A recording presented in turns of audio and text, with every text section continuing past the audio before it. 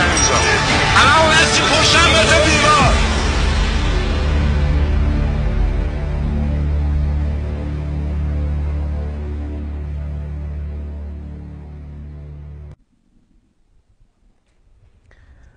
بینندگان کانال جدید سلام. من رضا سرلک به همراه همکارم جمیل فرزان. برنامه دیگه از سری برنامه های نبه ادام رو تقدیم حضورتون می‌کنیم. از شما دعوت می‌کنم از طریق ایمیل برنامه و یا تلفن پیامگیر تلویزیون کانال جدید نظرات و پیشنهادهای خودتون رو در مورد موضوعات مورد بحث این برنامه مطرح کنید. و اما موضوع این برنامه چگونگی پیشبرد کمپین نجات هوشمند علیپور. در برنامه این هفته دو مهمان داریم و قصد داریم قدری بیشتر درباره کمپین نجات هوشمند علیپور حرف بزنیم. هوشمند علیپور و محمد استاد قادر دو فعال سیاسی هستند که چندی پیش توسط نیروهای جمهوری اسلامی دستگیر و بازداشت شدند. در استودیو هرمز رها مسئول کمیته بین‌المللی علیه اعدام کنار ماست و همچنین پیشرو علیپور برادر هوشمند از طریق اینترنت به ما ملحق شدند. هرمز رها و پیشرو علیپور به این برنامه خوش آمدید. اجازه بدید از پیشرو علیپور شروع کنم. شما به عنوان یک برادر در ابتدا چه واکنشی داشتید به خبر دستگیری برادرتون هوشمند؟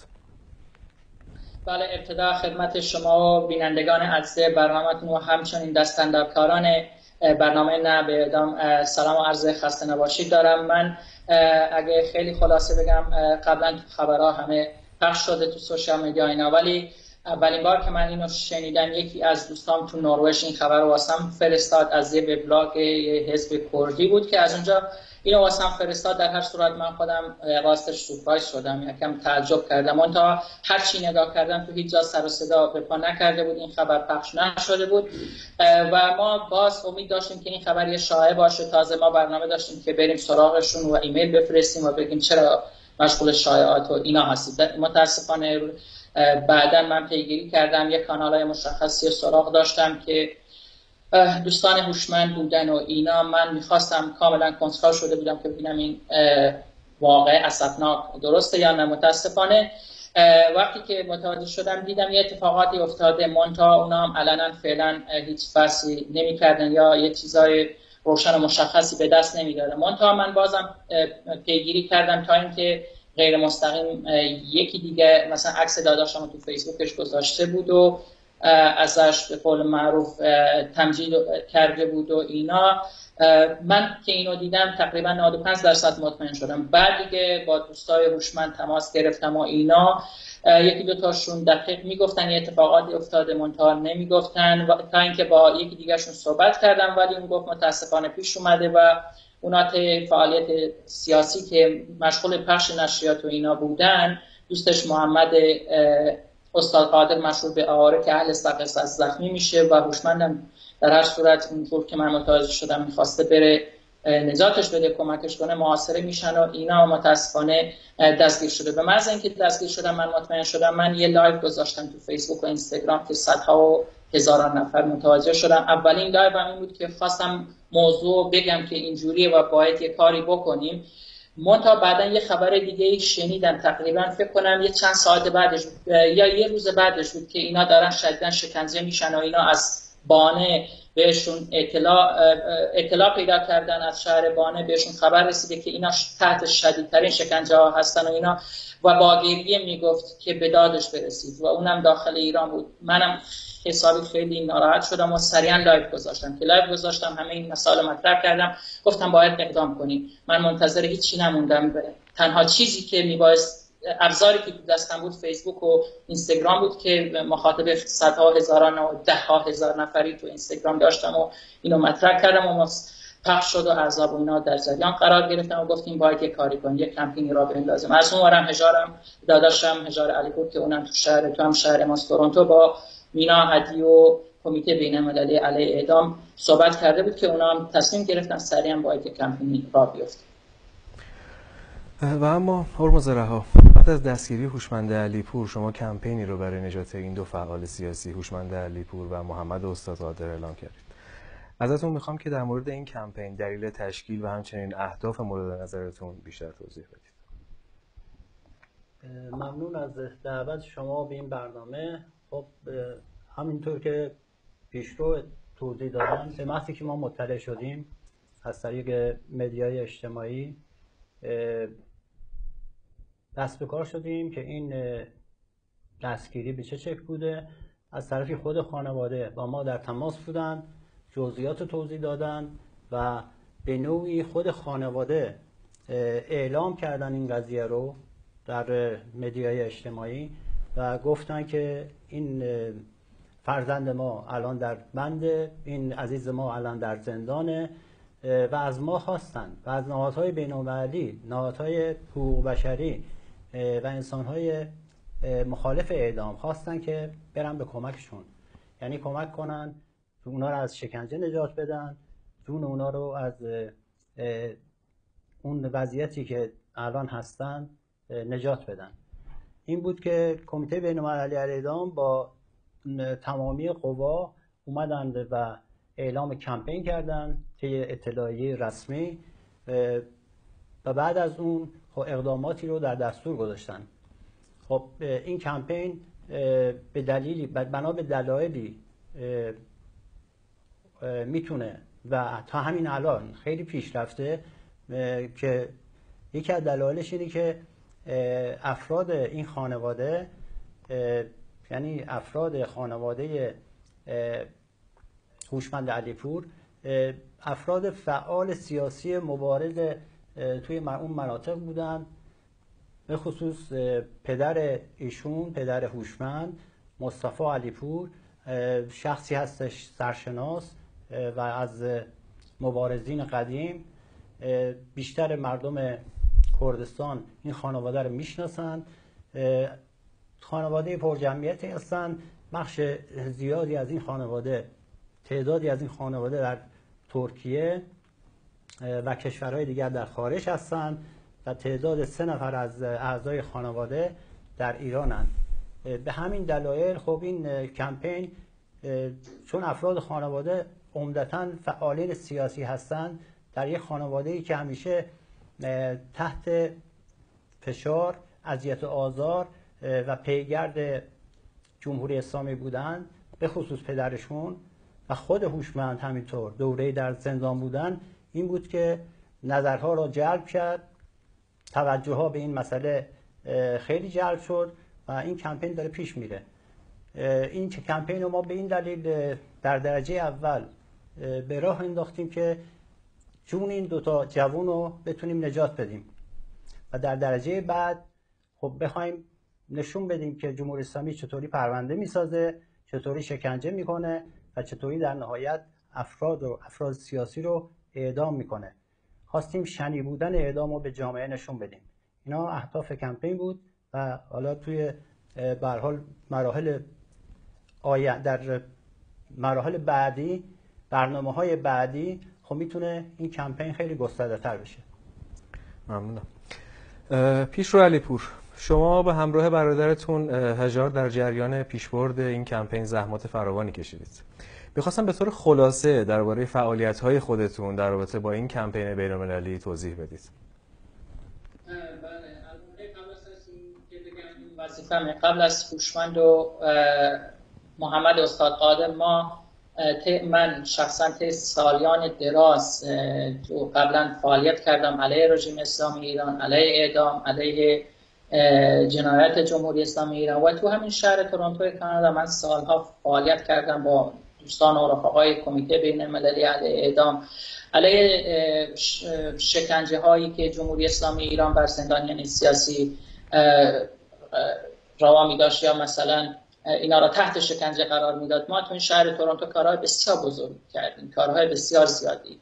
جدا از این از اینکه ما اون دوره که دولت کانادا سفارت رژیم اسلامی ایران رو جمع و جارو کرد ما هر چهارشنبه اینجا فعالیت داشتیم. اینا همه می‌دونن و همه رفقا و اینا ما کار از این لحاظ فیلم و document و همه اینا هست تا جمع آوری ده ها هزار امضا اما برای این کمپین راستش بالاخره من گفتم بیشتر با live و اینا تو فیسبوک و اینستاگرام صحبت رو انجام می‌دادم کار می‌کردم. بعدا دوستان بسیار زیادی ده ها و صدها نفر اعلام پشتیبانی کردن ابراز همدردی کردن با این موضوع این مسئله و این اتفاق ناگواری که واسه داداشم و دوستش محمد استاد قادر مشهور به آواره شهداد ابراز همدردی کردن. دوستای خیلی سریعا تماس گرفتن و اتفاقا یکی از اون دوستایی که الان لازمه اسمش رو بیارم. واقعا فرشاد حسینی من لازمه که اینجا تشکر و قدردانی کنم که خیلی سریع خیلی به موقع تماس گرفت و یه پیشنهاداتی داد که این پیشنهادات باعث شد که بعدا من که با هجار داداشم در جریان گذاشتم. اونم با کمیته بین المللی علیه اعدام در جریان گذاشت. اونم تصمیم گرفتن اصلا دعوتش کنم به این کمیته. در نتیجه اونم با ما هست فرشاد یک کوه استواری و دوستای بسیار زیادی دیگه ها حسن سالی مینا احدی و ده ها و صدها نفری که می‌شناسیم و صدها و هزاران نفری که تو مدیا اجتماعی اصلا نمی‌شناسیم. کلیپ درست می‌کنن کار می‌کنن. این کارا رو بالاخره این اینا همه این انسان های شریف و مبارز و مخالف رژیم اسلامی ایران و مخالف شکنجه و مجازات اعدام و اینا دارن به پیش می‌برن. من تا دیگه هر در توان داشتیم انجام دادیم از طریق تلفنی از طریق سوشیال میدیا و الان انعکاس بسیار وسیعی داشته. تو میدیاهای کردستان عراق این مسئله باستا به وسیله پیدا کرده. ما توی جای دیگه با live که دعوت کرده بودم من و پدرم و یکی دیگه از فعالین سیاسی صحبت کردیم فراخوان دادیم و اونجا بالاخره صدها و هزاران نفر بیشتر کرد بودن اونا مخاطبون اونا بودن که گفتیم باید این کمپین روز به روز باید وسیعتر بشه و داره میشه و شده و هنوزم به نظرم ناکافی. با توجه به اینکه خیلی وسیع شده ولی به نظرم هنوز فکر کنم ابتدای کاره و داره بیشتر وسیعتر میشه جنبه های بیشتری به خود می‌گیره. و صحبت های ما این بوده لطفا به کمپین هوشمند علیپور بپیوندید. این کمپین به اسم هوشمند علیپور منتها این واسه هر دوتاشون هوشمند و دوستش محمد استاد قادره. چرا به اسم هوشمنده دلالش کاملا مشخصه و صحبت شده؟ اینکه فامیلش بیشتر خانوادش خارج کشورن. بخشی از خانوادش با حتی یک سری از این فعالین کمیته بین المللی علیه اعدام در تماسن اونا قبلها مثلا اینا حد اینا دهه شست و اینا با خانواده ما در تماس بودن از نزدیک. اون دوره که فعالین سیاسی منطقه سرداشت و بیجو اینا بودن فعالین چپ و کمونیست و کمده بودن اون دوره. اینا همه با هم دیگه ارتباط داشتن. در نتیجه ما دستمون بیشتر بازه و معلومه که کسی خانواده که تو داخل ایران محدودیت زیاد داره فشار روش زیاده. به خاطر همین حتی داداشم رسما خیلی با مینا اینا در تماسه و منم. تا اون بیشتر در نتیجه تصمیم گرفته شد که با اسم هوشمند باشه. ما دستمون بیشتر بازه. امکاناتش بیشتره. من, من اینجا هستم داداشم اینجا از دوتامون صحبت می‌کنیم تو میدیاها تو تلویزیون تو سوشال میدیا و بقیه خون آدم که ترکیه هستن. در نتیجه و حرف من همیشه اینجوری بوده. این کمپین رو تقویت کنید. کمپین دفاع کمپین برای آزادی جان هوشمند علیپور و دوستش محمد استاد قادر و به کمیته بین المللی علیه اعدام که در رأس این کمپین قرار گرفته کمک کنید. و ما گفتیم این لطفا مسائل چون بالاخره متاسفانه همیشه همیشه توی بعضی مواقع جای کار میلنگید و اون لنگیدن هم بخشش برمیگشت به اختلافات سیاسی بین این حزب و اون حزب. و چون تو این مدت هم که خیلی ها تماس گرفتن گفتن ما همه آماده این کار کنیم. ولی یک سری حتی گفتن حزب ما با حزب اونا با حزب اون اختلافاتی داره. گفتم لطفا اگه کمک, می... کمک می‌کنید این اختلافات رو کنار بذارید. و هیچ اختلافی نمی‌تونه مانع این بشه که برای نجات جان دو انسان تلاش کنیم. اگه اون اختلافات اینقدر عمیقه اونا رو به درد ما نمی‌خوره. نمی‌خوایم مرسی. ولی اگه می‌خواید کاری کنید اگه از این کمپین هوشمند علیپور دفاع کنید از کمپین بین المللی علیه اعدام دفاع کنید. حتی اگه دسترسی ندارید به این کمپین با اسم خودتون با اسم سازمانتون با اسم جریانتون با اسم مشخصات خودتون این کار انجام بدید. من با ده ها صدها فعال سیاسی اکثر این اعضاب سیاسی کرد و حتی چپ و کمونیست تماس گرفتن اعلام آمادگی کردن. حتی من دیروز و پریز چند تایی تو آلمان هستن با من تماس گرفتن گفتن حتی ما تو کانادا دوست آشنا داریم.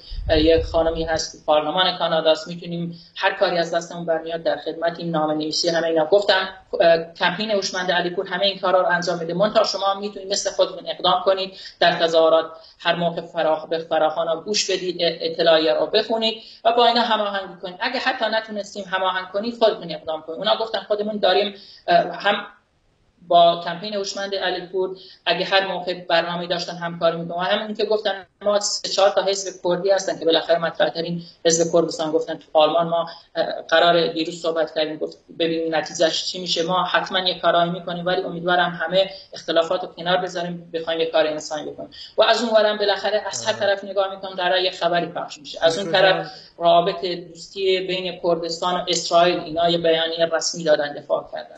و های دیگه همه مشغولن. در هر صورت ما بازم در تلاش من خواهشم اینه. اونایی که ممنونم پیش اونایی که منتظرن لطف کنید ملحق بشید. ممنونم پیش جان. با توجه به اینکه زمان کوتاهی داریم و سوالات دیگه هست می‌خوایم که به همه سوالا برسیم. هرمز جان در رابطه با چگونگی پیش برده این کمپین آیا نکاتی دارید که اضافه کنید؟ بله همونجور که پیشرو توضیح دادن خب این کمپین هزاران نفر می‌تونن توش دخیل باشن. همین الان صدها نفر فعال این کمپین هستن. ولی خب خانواده خود پیشرو و خود هوشمند اینا فعالین اصلی این کمپین هستن. همون که تو در سوال قبلی هم توضیح دادم. به دلیل سیاسی بودن این خانواده اعضای این خانواده به دلیل اینکه خودشون تحت پیگر تحت تغییر مراقبت و زندان اون رژیم رو دیدن شلاق اون رژیم رو خود هوشمند در دوره‌ای که زندان بوده خب شلاق اون رژیم رو روی خودش تن خودش احساس کرده. این افراد این خانواده جز مهرهای اصلی این کمپینن. در ادامه توضیح دادن فرشاد حسینی مسئول روابط بین این کمپین هستش و مینا احدی سخنگوی این کمپینه. خب این کمپین من خواستم این توضیحات رو بدم که دست در کارهای بیشتری رو در دستور داره که می‌تونم بعدا توضیح بدم اگه فرصت باشه. بله. پیشرو علی پور برادر شما هوشمند یک بار در سال 88 زمانی که فقط 16 سال سن داشت دستگیر شد. می‌خواستم خیلی کوتاه در مورد این دستگیری دلایلش و همچنین مجازاتی که برای هوشمند تعیین شد توضیح بدید و حواستون هم به لطفا به وقت باشه. ممنون میشم.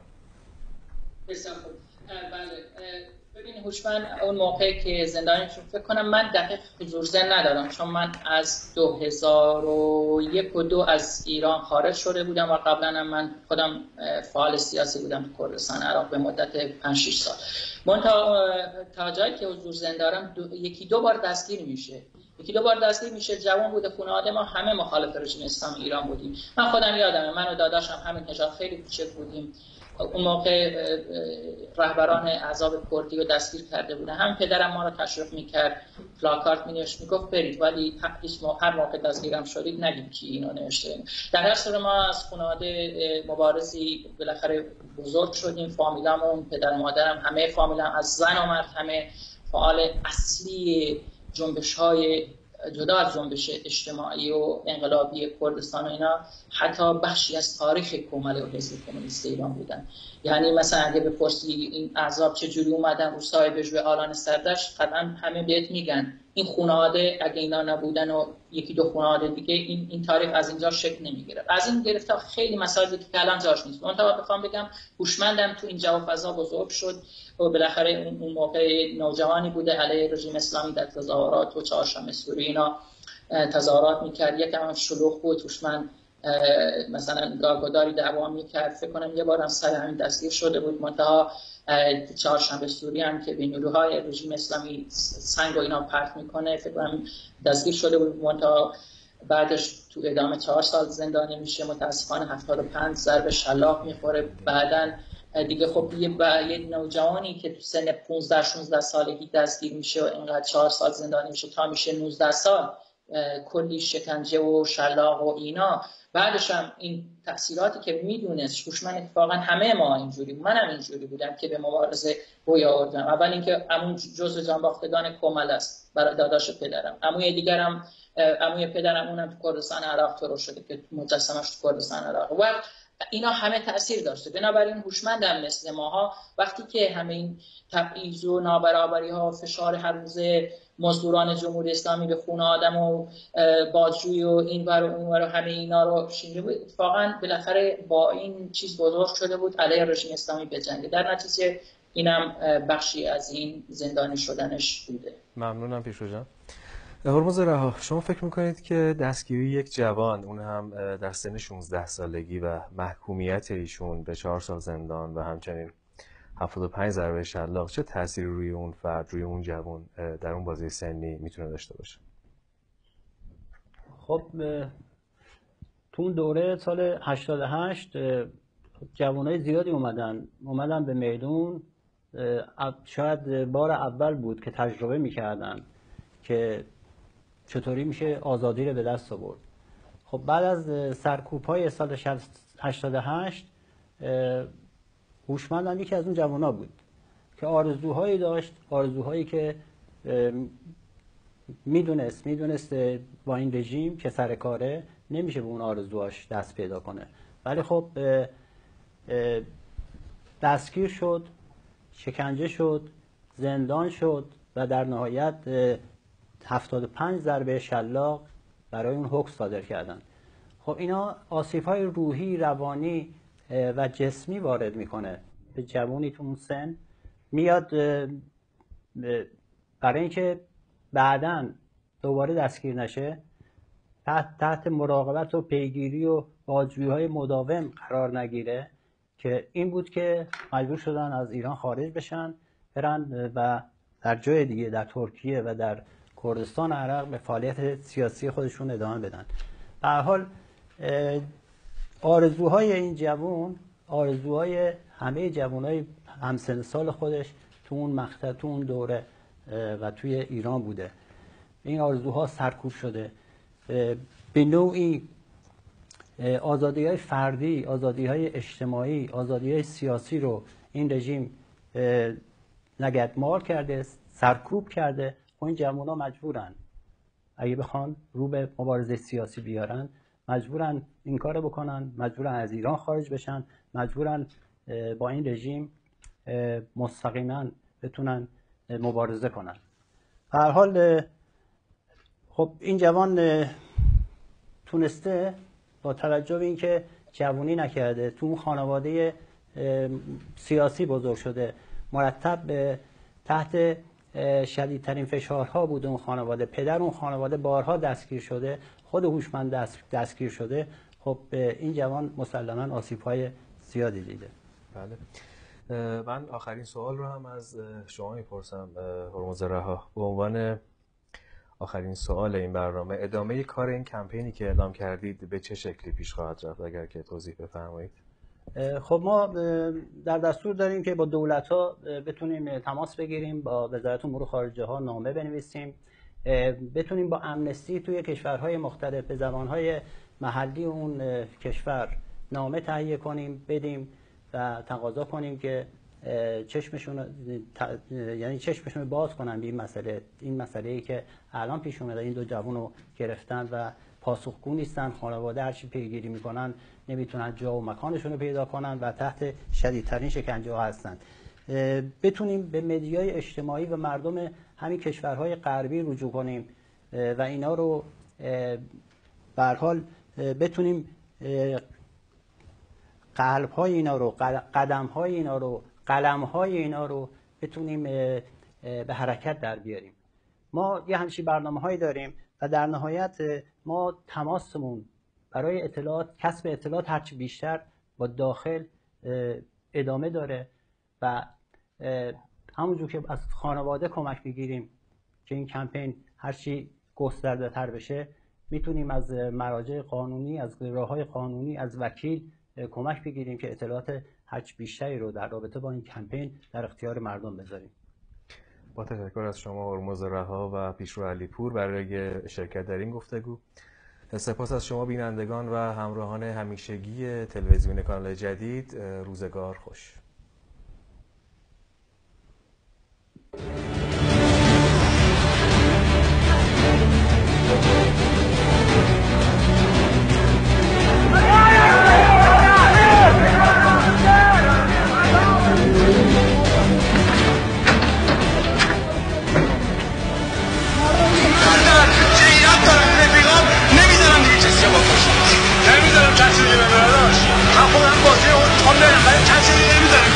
اینجا